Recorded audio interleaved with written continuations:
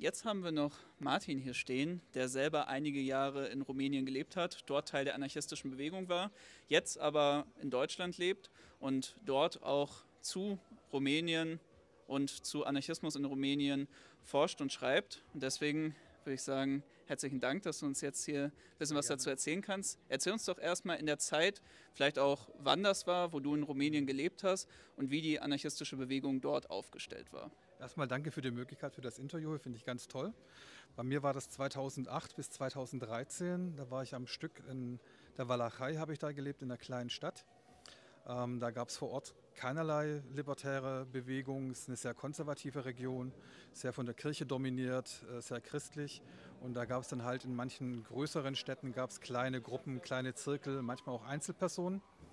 Ähm, zu meiner Zeit hat es sich eigentlich gerade erst angefangen, so ein bisschen zu entwickeln und auch zu festigen. Es gab damals von einem Genossen aus Bukarest eine Zeitung, Anarchia hieß die.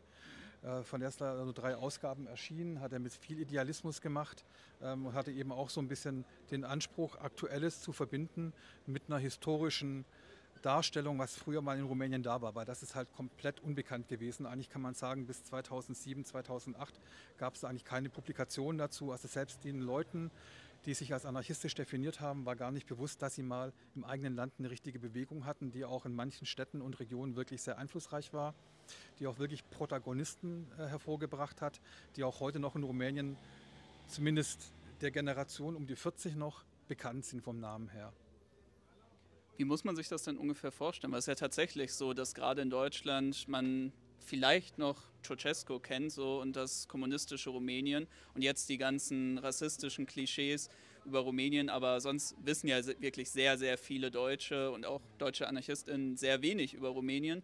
Wie schaut es denn da historisch aus? Also wenn wir uns die anarchistische Geschichte angucken, mhm. da gab es ja wahrscheinlich auch viele Brüche mit dem faschistischen Rumänien und dann später mit der Diktatur von Ceausescu. Kannst du da uns ein bisschen was dazu erzählen, wie das historisch anschaut? Du, du hast es ja wirklich schon äh, gerade ein bisschen ja, angeschnitten, könnte ne? Ich könnte ich super viel dazu erzählen. So viel Zeit haben wir wahrscheinlich nicht für ein Interview.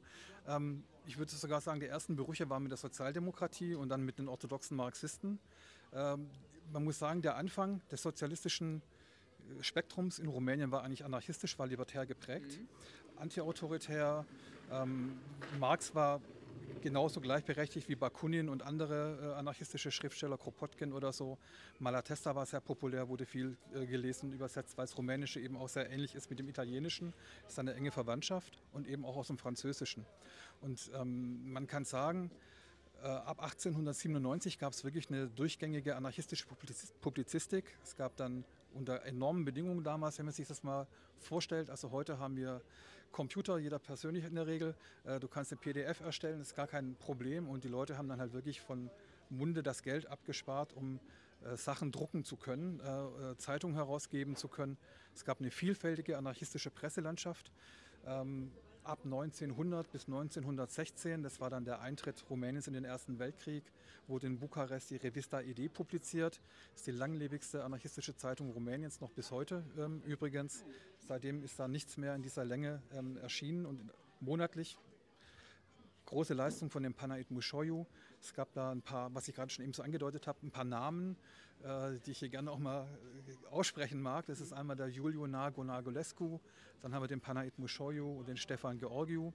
Und mit dem Stefan Georgiou und dem Nago Nagolescu hat sich auch der Anarchosyndikalismus entwickelt. Mhm. Und in Rumänien hat der Anarchosyndikalismus sich nie wirklich als eigenständige, unabhängige Strömung etablieren können. Weswegen ein Teil an Anarchosyndikalisten mitgearbeitet haben in den offiziellen, Anführungszeichen, sozialdemokratisch geprägten Gewerkschaftsdachverbänden. Ein anderer Teil um den Nago Nagolescu aber eigenständige Organisationen versucht hat aufzubauen. Und das ist spannenderweise gerade da gelungen in den Hafenstädten, wo es eine multiethnische Arbeiterinnenklasse gab, heute auch noch gibt. Also Rumänien ist eh ein sehr multiethnisches Land. Also man kann nicht sagen, das sind die Rumänen und das sind alles so, sondern das sind ganz viele Einflüsse, weil, aber das wird wahrscheinlich zu lange führen hier äh, in dem Interview. Ähm, und dieser Nago Nagolescu hatte in Braila und in Galatz, haben die es wirklich geschafft, auch gute Arbeitskämpfe zu führen. Ähm, und die größten Kräfte, die, die da wirklich ähm, mobilisiert werden konnten, waren dann, wenn eben diese beiden Strömungen auch zusammengearbeitet haben. Das war um 1911 bis 1914, gerade in diesen Hafenstädten. Und da waren beide Städte damals wichtige Handelszentren, heute auch noch, kurz vor einer Revolution, muss man, kann man so ganz klar sagen. Wow, das ist auf jeden Fall eine ganz schöne Menge. Da ja. kann man ja jetzt schon mal anteasern, dass das vielleicht auch mal was wäre, was man nochmal in einer Podcast-Folge vertiefen könnte. Deswegen, um da jetzt nicht noch vertieft drauf einzugehen, weil du kannst wahrscheinlich wirklich stundenlang ja, dazu ja, erzählen. Und ähm, gib uns doch zum Ende nochmal so einen kleinen Input, wie es jetzt eigentlich aktuell in Rumänien ausschaut, weil das wissen sicherlich viele von euch auch nicht, ich selber auch nicht. Wie steht es gerade um die anarchistische Bewegung in Rumänien jetzt zu diesem Zeitpunkt? Und was sind so die großen sozialen Themen in Rumänien, die dort von der Bewegung angesprochen werden? Und ähm, ja, da bin ich gespannt auf den Überblick. Ja, also man kann sagen, dass seit 2000 und 14, 15 würde ich sagen, haben sich wirklich anarchistische Strukturen verfestigt und etabliert. Leute bleiben dabei und machen teilweise sehr gute, konkrete Projekte. Also es gibt seit ein paar Jahren gibt's einen anarchistischen Buchverlag, Editura Pacini Libre, kann man auch googeln unter pacinilibre.ro für Romania. Machen tolle Broschüren, auch in einer unglaublichen thematischen Vielfalt. Also geht von historischen Sachen über soziale Themen, über Feminismus, über Frauenrechte, ähm, über Ernährungsfragen weil man muss halt wissen, Rumänien ist immer so ein Experimentierfeld für Konzerne und für äh, auch für teilweise für militärische Operationen, wo dann, weil halt die Leute nicht so genau hingucken, denken sie in der Regel, also die Herrschenden. Ähm, aber das würde es auch wieder zu weit führen, weil es gibt dann eben so ähm, Organisationen von äh, Pflanzensaaten, weil halt bestimmte große Multikonzerne verbieten, dass Bauern, also es gibt noch sehr viel ähm, eigene Landwirtschaft, die die Menschen betreiben, um zu überleben. Also so ein philosophisch gibt es sehr viel, es gibt sehr viel praktische Sachen und es gibt eben auch so eine historische Aufarbeitung. Und für mich persönlich würde ich sagen, in den letzten Jahren ist es für mich das Herausragendste, dass es diesen Verlag gibt, der wirklich kontinuierlich äh, dabei ist. Sie haben Bakunien rausgebracht, Gott und der Staat in der rumänischen Fassung. Sie haben jetzt eine anarchistische Utopie veröffentlicht vor einer Weile ähm, und eben zahlreiche gute Broschüren zu den verschiedensten Themen. Generell soziale Situation neben Moldawien das ärmste Land in Europa mhm. nach wie vor. Eine riesige Arbeitsmigration, also aus Rumänien weg, ähm, was eine ganze Menge an verschiedensten Konsequenzen mit sich bringt. Ähm, zum einen eben, dass viele Kinder, minderjährige Kinder ohne ihre Eltern aufwachsen, weil die Eltern im Ausland sind. Es gibt eine enorme Anzahl an Obdachlosigkeit, es gibt eine enorme Anzahl an Suiziden. Äh, von Arbeitsrechten muss man gar nicht sprechen. Es gab vor Jahren, die sind leider ein bisschen eingeschlafen, eine äh, Initiative von anarchistischen Arbeiterinnen, Mahalla nennen die sich, ähm, die begonnen haben, eben Kolleginnen und Kollegen aufzuklären über ihre Rechte und eben so ein bisschen zu motivieren, sich auch zu wehren und äh, auch mal Kämpfe zu führen. In Arad gab es letztes Jahr ohne Einfluss von den Genossinnen und Genossen eine spontane, vorletztes Jahr, Entschuldigung, eine spontane Bewegung von ähm, Arbeitern in Güterwaggonfabriken. Also die bauen da für Astra Rail äh, Zugwaggons für ganz Europa. Zum miesesten Arbeitsbedingungen, hygienische Katastrophe, ähm, Arbeitsbedingungen katastrophal. Ähm, die sind da wirklich in den selbstorganisierten Streik getreten, auch gegen ihre gewählten Gewerkschaftsleute, weil die halt alle korrupt sind. Das sind wir beim nächsten Punkt. Also eine riesige Korruption, die die gesamte Gesellschaft eigentlich durchzieht, die ein Problem ist und die mittlerweile auch ähm, ausgesprochen wird seit ein paar Jahren. Es gab ein paar ganz einschneidende Ereignisse in Rumänien, ein Brand an der Diskothek, ähm, äh, wo viele Leute ums Leben kamen, weil einfach Sicherheitsbestimmungen gar nicht eingehalten worden sind. Die wurden abgesegnet, gab es Massendemonstrationen, immer mit Forderungen nach Rücktritt der Regierung. Man muss wissen, in Rumänien wechseln die Regierungen wie Sand am Meer. Und das, was halt immer neu kommt, ist genauso schlecht eigentlich wie das zuvor. Mit Nuancen natürlich an Unterschieden. Aber eigentlich gibt es eine Unmenge an sozialen Unhaltbarkeiten, die verändert werden müssen.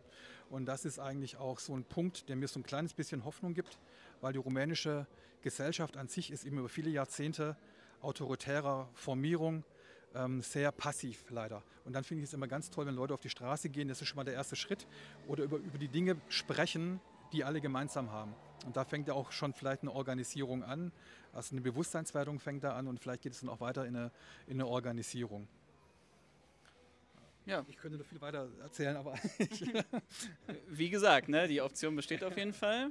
Wir schauen, dass äh, wir vielleicht noch eine Podcast-Folge zu der Thematik ähm, zustande bekommen. Und Ihr seid natürlich auch gefragt, wenn ihr jetzt einen guten Einblick in die anarchistische Bewegung in Rumänien habt, wenn ihr vielleicht Leute von da kennt, dann schreibt uns auch gerne, dann kann man sicherlich auch nochmal unterschiedliche Perspektiven dazu sammeln. Ich sage erstmal wirklich Riesendank für diesen spannenden Einblick und äh, ja, dann wünsche ich auf jeden Fall Vielleicht noch, noch, einen, Satz, ja? noch einen Satz dazu sagen. Man muss wissen, dass die rumänischen Faschisten sehr gut auch vernetzt sind mit den deutschen Neonazis. Also da gibt es auch sehr, sehr viele Verbindungen und die gibt es eben auch schon traditionell.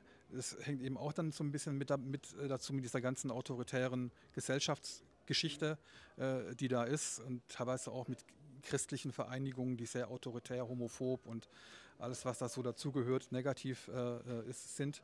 Ähm, und deswegen ist es immer sehr wichtig, finde ich, dass man international zusammenarbeitet. Das ist äh, eine unserer wenigen Chancen, sage ich mal, dass wir wirklich dann auch was nachhaltig verändern können, wenn man sich austauscht, zusammenkommt und äh, am besten natürlich dann auch organisiert. Absolut, sehr gute Schlussworte, weil das wäre ja schön, wenn das wirklich auch so funktioniert, wie man es jetzt auch beispielsweise in Ungarn oder Bulgarien sieht, wo auch diese Vernetzung der radikalen Linken mit der anderen radikalen linken anarchistischen Antifa-Bewegung vor Ort schon passiert ist. Letztes Wochenende gab es die Balkan Anarchist Book Fair in Ljubljana.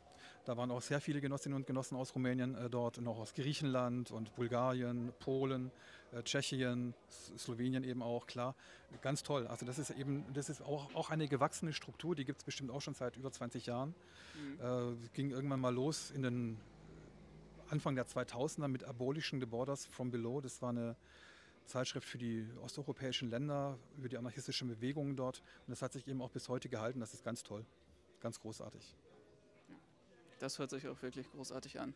Dann bleibt mir nur noch zu sagen, wir wünschen auf jeden Fall den rumänischen GenossInnen alles Gute und äh, hoffen da in der Zukunft viel auch hier mitzubekommen von den Kämpfen vor Ort. Und wie gesagt, vielen Dank für das Interview hier und wir schauen dann mal, ob es auch was mit der Podcast-Folge wird.